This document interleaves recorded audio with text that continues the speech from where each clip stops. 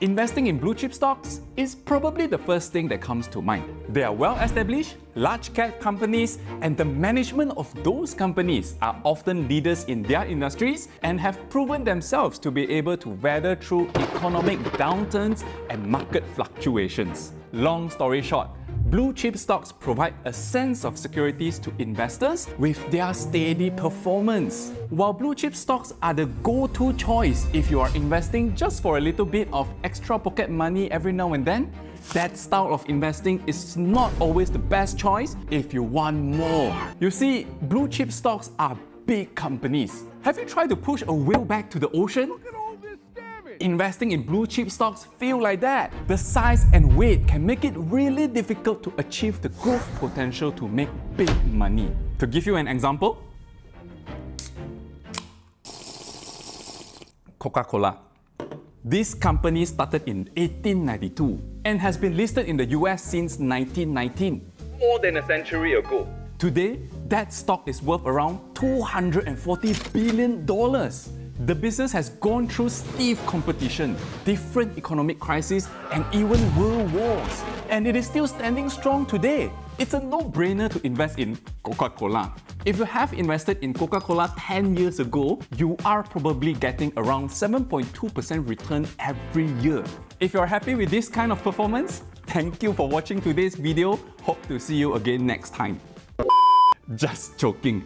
I think the reason you click into this video is because you want to maximize the return of your investment. And from the title, you know I'm going to talk about investing in small cap companies to potentially make that big money.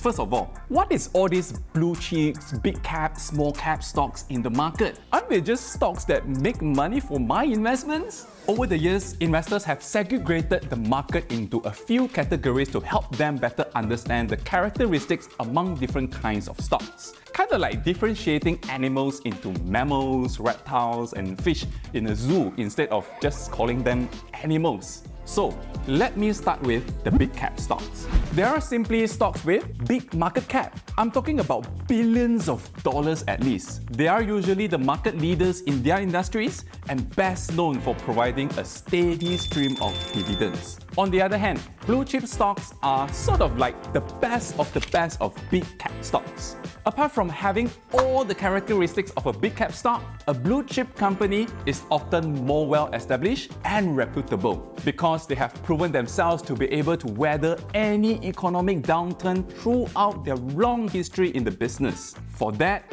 they are considered very safe investments and relatively lower risk compared to other kinds of stocks. If you have been investing for a while, you know that investing in big caps or blue chips can give you a solid 6 to 8% return a year. You also know that you should be able to get more than 6 to 8% a year because you have seen people making 100%, 200% with their investment. And that's where small cap stocks come into play. Small cap stocks are a company where their market cap is usually in the range of $200 million and below. Because of their size, very often they are in their early stage of growth. For example, a startup that has already been operating for a few years. If that startup company decides to go on IPO to raise money for expansion, that's going to be a new small cap stock listed on the stock exchange. Unless the startup is a unicorn like Grab or Carsome lah. That's a different story. I've made a video to talk about investing in a startup prior to their IPO. If you're interested to know more about that, check out the video over here.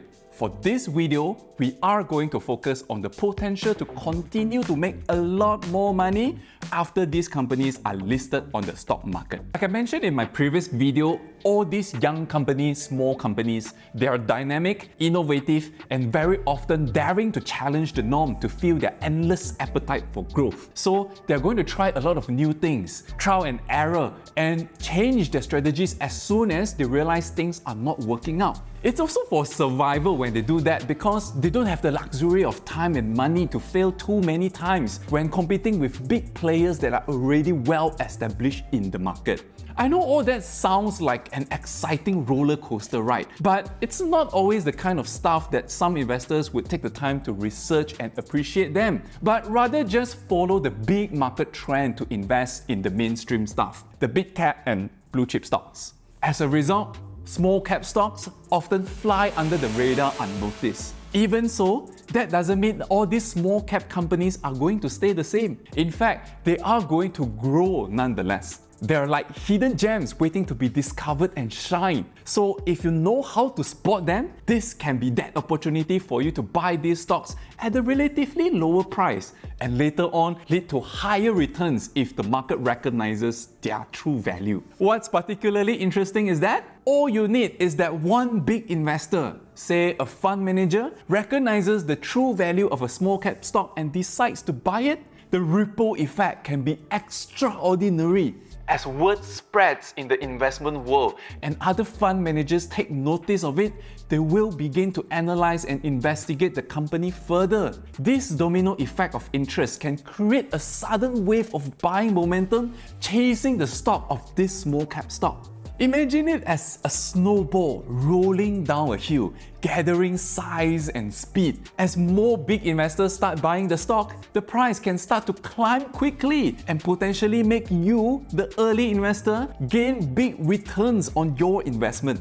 The best part is that when these small cap stocks start getting so much attention in the market, their big competitors will start to pay more attention to them. We all know that one of the many ways for large companies to grow is by acquiring other companies to expand their current business. And very often they will go for smaller companies because the investment is cheaper and it's easier to integrate the new company into their existing operations. When an acquisition is on the table, in order to ensure the success of the deal, the bigger acquirer will almost always offer a premium to attract the existing shareholders to sell the stake to them.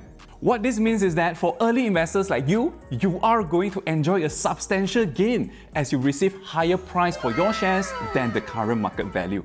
To give you an example, Microsoft decided to acquire LinkedIn in 2016 for $26.2 billion. Prior to the acquisition offer, LinkedIn was only trading at 13 billion, half of what Microsoft had offered.